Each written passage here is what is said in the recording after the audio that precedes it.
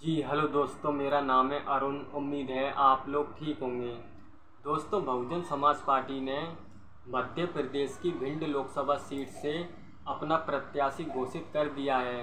BSP ने Bhind Lok Sabha seat से देवाशीष जरारिया को टिकट दिया है। आज बुधवार की सुबह कांग्रेस पार्टी से इस्तीफा देने वाले नेता देवाशीष जरारिया ने कांग्रेस से इस्तीफा देने के बाद कुछ घंटे बाद ही बीएसपी पार्टी ज्वाइन कर ली और बीएसपी पार्टी ने भी उन्हें भिंड लोकसभा सीट से प्रत्याशी बना दिया। यह पूरा घटनाक्रम इतना जल्द हुआ कि कांग्रेस पार्टी को कुछ भी समझ में नहीं आया। दरअसल देवाशीष जरारिया को साल 2019 में कांग्रेस पार्टी ने लोकसभा का टिकट देकर भिंड भिंड से चुनाव लड़वाया था, लेकिन वो बीजेपी प्रत्याशी संध्या राय से चुनाव हार गए थे। फिर भी वो लगातार पाँच साल तक पार्टी के लिए मैदान में काम करते रहे।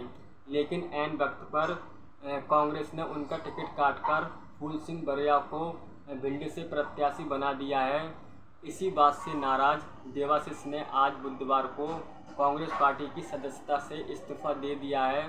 इस्तीफा देने के कुछ घंटे बाद ही उन्होंने बीएसपी अध्यक्ष मायावती मायावती से मुलाकात भी की और मायावती से आशीर्वाद भी ले लिया। और बीएसपी अध्यक्ष मायावती से मुलाकात के कुछ देर बाद ही बीएसपी ने देवाशीष को भिंड लोकसभा सीट से प्रत्याशी बना दिया।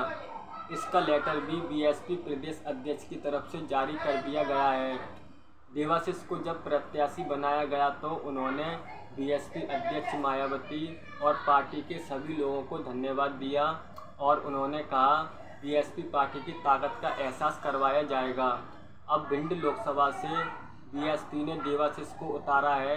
इससे यहाँ मुकाबला काफ़ी ज़्यादा कड़ा हो गया है, क्योंकि बीजेपी की संध्या राय को चुनौती देने के लिए अब तक चुनावी मैदान में कांग्रेस प्रत्याशी फूल सिंह बरिया थे।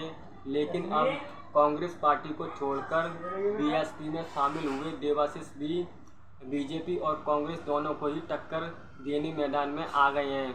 लेकिन देवाशीष बीजेपी से ज़्यादा कांग्रेस को डैमेज करेंगे। क्योंकि उनके ज़्यादातर समर्थक कांग्रेस पार्टी से ही आते हैं। अब देखने वाली बात यह होगी कि बीएसपी पार्टी को भिंड लोकसभा सीट से कितना फ़ायदा हो सकता है और कांग्रेस को कितना नुकसान हो सकता है, बीएसपी प्रत्याशी देवाशीष द्वारा। Thank you.